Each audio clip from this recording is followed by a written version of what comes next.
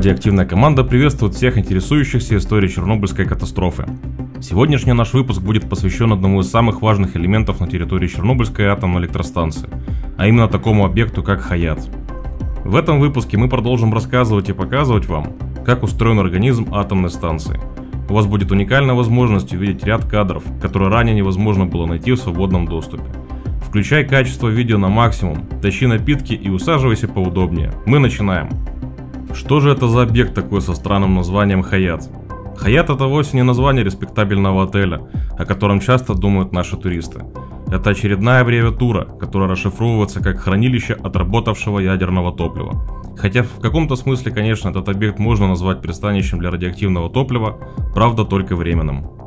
Хранилище, про которое пойдет речь в нашем сегодняшнем выпуске, находится на территории промышленной площадки Чернобыльской АЭС, всего в 200 метрах от того самого четвертого блока. Данный объект был принят в эксплуатацию в сентябре 1986 года. Именно той осенью вели сложные работы по дезактивации кровель станции и кипела работа по созданию всем известного объекта укрытия, или как его называют в народе, саркофага.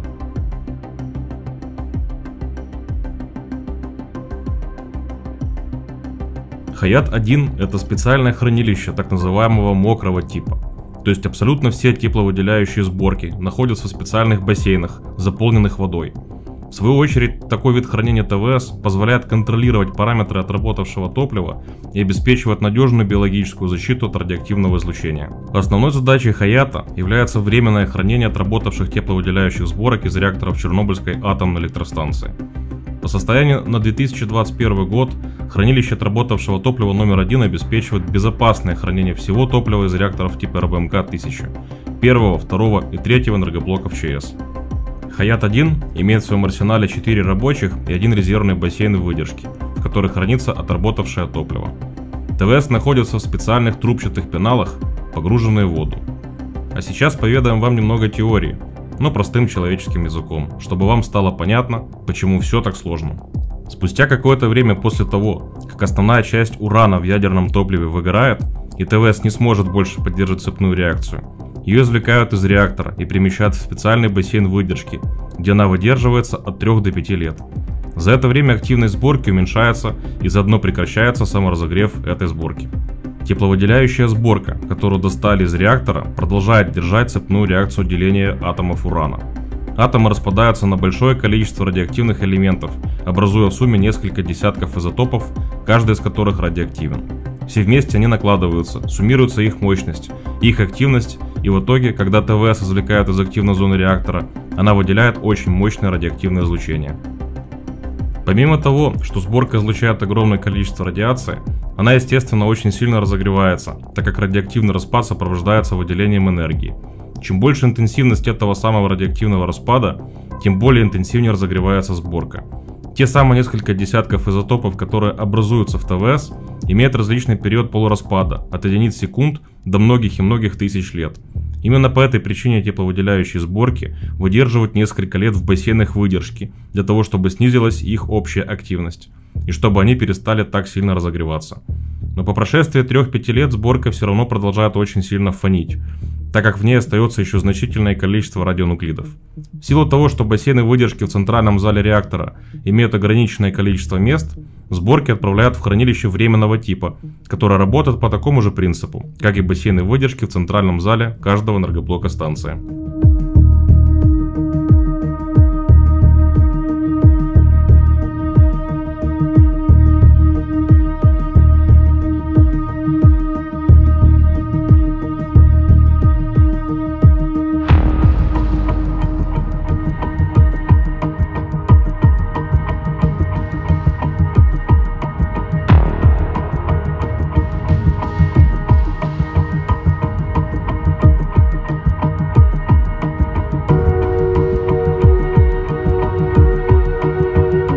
Важно сказать о том, что отработавшее ядерное топливо не является радиоактивными отходами. Все дело в том, что ни один из существующих типов реакторов не может обеспечить полное выгорание топлива в тепловыделяющих сборках.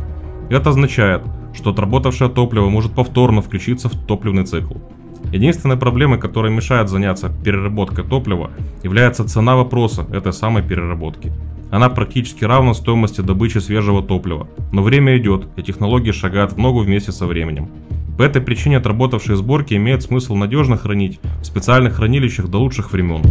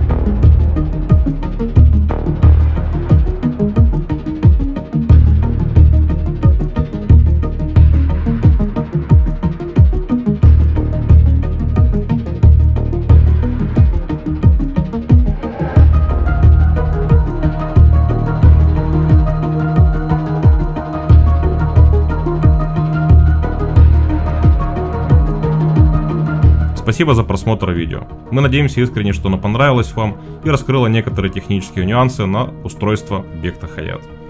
Поставьте лайк, не забудьте подписаться на наш канал и оставить хотя бы один комментарий, чтобы помочь нам в продвижении этого видео. Увидимся!